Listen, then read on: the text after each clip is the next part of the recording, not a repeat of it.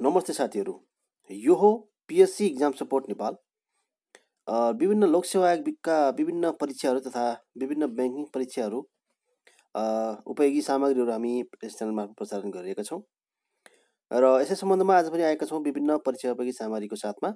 यो खास गरी आजको सेट छ नेपाल राष्ट्र बैङ्क सहायक द्वितीय तहको सहायक पदको लागि प्रथम चरण परीक्षाको अ, पूर्व योग्यता परीक्षाको लागि एकदमै उपयोगी हुने केही ब्याङ्किङ सम्बन्धी जिकेहरूका क्वेसन सेट्सहरू लिएर आएका छौँ। र यसअघि पनि विभिन्न कृषि विकास ब्याङ्क राष्ट्रिय वाणिज्य ब्याङ्क नेपाल ब्याङ्क नेपाल राष्ट्र ब्याङ्क लगायत विभिन्न लोकसेवा हुनु। अन्य परीक्षाहरूको लागि पनि उपयोगी नोट्सहरू हामी यस च्यानलमा राखिसकेका छौँ। तपाईँले आएर हेर्न सक्नुहुनेछ। र भिडियो सुरु गर्नुभन्दा अगाडि हामी तपाईँलाई एउटा रिक्वेस्ट गर्न चाहन्छौँ। र हाम्रो च्यानललाई अहिलेसम्म सब्सक्राइब गर्नुभएको छैन भने लाइक सेयर र सब्सक्राइब गरिदिनु होला ताकि यस्तै यस्तै नयाँ नयाँ कन्टेन्टहरू हामी तपाईँको रिक्वेस्ट अनुसार विभिन्न समयमा प्रसारण गर्दै जानेछौँ। र आजको यस भिडियो छ हामी विभिन्न ब्याङ्किङ तयारी सम्बन्धी सेट इलेभेन छ। यसअघि हामीले दसवटा सेट्सहरू प्रसारण गरिसकेका छौँ। र तह चार सहायक द्वितीय पदको प्रथम चरणको लागि एकदमै उपयोगी हुनेछ। यति भन्दै आजको विषयवस्तु सुरु गर्न गइरहेको छु। एक नम्बरमा छ। स्थापना कालमा स्वदेशी तथा विदेशी लगानी भएका ब्याङ्कहरूको बारेमा जानकारी। स्थापना कालमा स्वदेशी लगानी र विदेशी लगानी भएका तर हाल स्वदेशी लगानी मात्रै कायम रहेका नेपालका वाणिज्य ब्याङ्कहरू कुन कुन हुन् त? एकमा छ Nabil bank limited Nepal investment bank limited Nepal Bangladesh bank limited bank of Kathmandu र Nepal credit and commerce bank limited हुन्। यी चारवटा पाँचवटा ब्याङ्कहरू अहिले पनि कायम रहेका छन्। स्थापना कालमा स्वदेशी लगानी र विदेशी दुवै लगानी भएका जोइन्ट भेन्चर ब्याङ्कहरू र हाल स्वदेशी लगानी मात्रै रहेका ब्याङ्कहरू। केही पुरानो वाणिज्य वाणिज्य ब्याङ्कहरूको पुरानो तथा नयाँ नामहरूको बारेमा जानकारी दिएको छ। एकदमै उपयोगी छ हेर्नुहोला। पुरानो नाम छ नेपाल अरब ब्याङ्क लिमिटेड भनेर हामीले नबिल ब्याङ्क लिमिटेडलाई बुझ्दछौँ। Nepal Indo Suez bank limited भनेको हालको नेपाल इन्भेस्टमेन्ट ब्याङ्क लिमिटेड हो। नेपाल ग्रिनलेज ब्याङ्क लिमिटेड भनेको हालको standard charter bank Nepal limited हो। नेपाल ब्याङ्क अफ सिलोन हालको Nepal credit and commerce bank हो। त्यस्तै अर्को नम्बर छ सार्क मुलुकका केन्द्रीय ब्याङ्कहरूको बारेमा जानकारी। सार्क मुलुकमा नेपाल भारत पाकिस्तान बङ्गलादेश श्रीलङ्का भुटान मालदिप्स र अफगानिस्तान गरेर आठवटा देशहरू छन् र ती देशहरूको केन्द्रीय ब्याङ्कहरूको नाम आज हामी बताउन गइरहेका छौँ। नेपालको केन्द्रीय ब्याङ्क हो नेपाल राष्ट्र ब्याङ्क भारतको रिजर्भ ब्याङ्क अफ इन्डिया पाकिस्तानमा स्टेट ब्याङ्क अफ पाकिस्तान बङ्गलादेशमा छ। बङ्गलादेश ब्याङ्क श्रीलङ्कामा छ सेन्ट्रल ब्याङ्क अफ सिलोन भुटानमा छ रोयल मोनिटरी अथोरिटी मालदिप्समा छ मालदिप्स मोनिटरी अथोरिटी र अफगानिस्तानमा छ अफगानिस्तान ब्याङ्क। त्यस्तै अर्को नम्बर छ विभिन्न देश र त्यस देशमा प्रचलित मुद्राको बारेमा जानकारी। कुन देशको मुद्रालाई के भनेर भनिन्छ त? यो पनि समय सापेक्ष उपयोगी कुराहरू हो।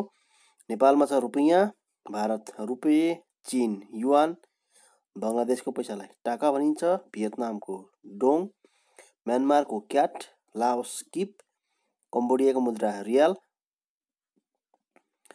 त्यस्तै भुटानको छ नेगुल्ट्रम पाकिस्तानको छ रुपी श्रीलङ्काको पैसा रुपी मालदिप्सको रुपियाँ इन्डोनेसियाको रुपियाँ सिङ्गापुरको dollar Thailand baht Malaysia ringgit Philippines peso Brunei Brunei dollar Iraq dinar Iran rial Oman Omani rial Qatar Qatari rial Kuwait Kuwaiti dinar Georgia lari Turkey Turkish lira Cyprus pound Lebanon pound Laos kip Kenya Kenya shilling Syria Syrian pound Cameroon cease franc प्याङ्क Ghana cedi Zimbabwe Zimbabwe dollar दक्षिणी Sudan South Sudanese pound Nigeria naira Burundi franc Colombia peso Uruguay peso Tuvalu Australian dollar Papua New Guinea kina Vanuatu Bhanu भाटु fizzy fizzy dollar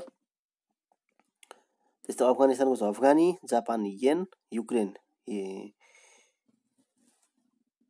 हिब्रिना Russia रुवाल Canada Canadian dollar संयुक्त राज्य America American dollar France euro a, बेलायत pound Switzerland Swiss franc Mali CFA franc Libya dinar Austria euro Albania lek Greece euro Italy euro Germany euro Denmark krone Kosovo euro dinar Iceland Icelandic krona Norwegian kroner franc euro Portugal euro Netherland euro Belgium euro Belarus ruble Finland euro Malta lira Romania leu Spain euro Hungary forint Guatemala quetzal Panama वाल्सो Chile peso भनेर छ।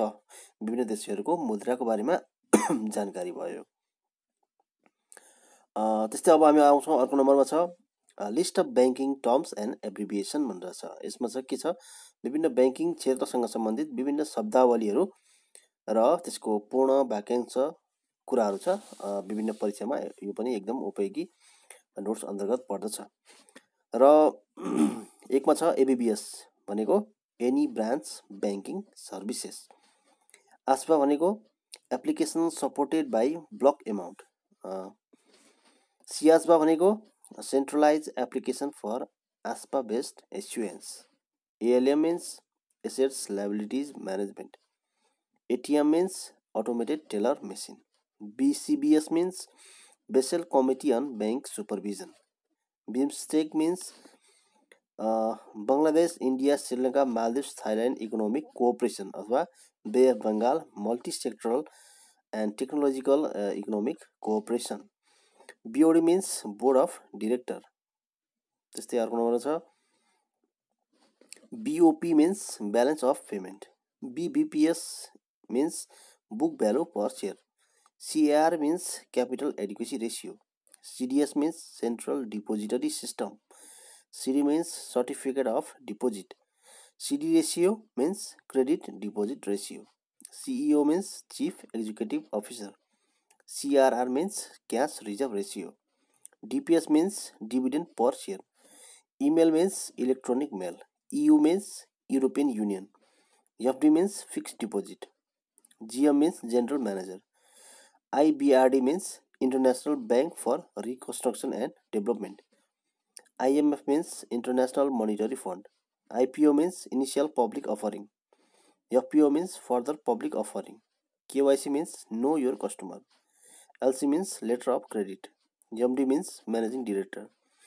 MOF means Ministry of Finance. MPS means market price per share. NIPSE means Nepal Stock Exchange. NPA means non-performing assets. NPL means non-performing loan. NRB means Nepal Rashtra Bank. SCT means Smart Choice Technologies. SCACEN means Southeast Asian Central Bank. SEBON means Securities Board of Nepal. SMS means Short Message Service. SB means Signature Verification. SWIFT means Society of Worldwide Interbank Financial Telecommunication. TB means Treasury Bill र TC means travellers cheque यो थियो विभिन्न ब्याङ्कको टर्ममा use हुने विभिन्न list of abbreviation र शब्दावलीको पूर्ण रूप। र आजको भिडियोमा यति नै। यस सम्बन्धी बाँकी नोट्सहरू हामी अर्को सेट्समा लिएर आउनेछौँ। कस्तो लाग्यो भिडियो? कृपया लाइक सेयर र सब्सक्राइब गरिदिनु नभुल्नुहोला हाम्रो च्यानललाई माया गरिदिनु होला। यस्तै यस्तै परीक्षा सामग्रीहरू हामी फेरि पनि लिएर आउनेछौँ। तपाईँलाई कुनै कुरामा भिडियो बनाइदिए हुन्थ्यो जस्तो लाग्छ भने कमेन्ट बक्समा लेख्नुहोला र यस्तै यस्तै परीक्षा सामग्री फेरि पनि आउनेछ तपाईँसँगको लागि। हेर्दै गर्नुहोला। PSC exam support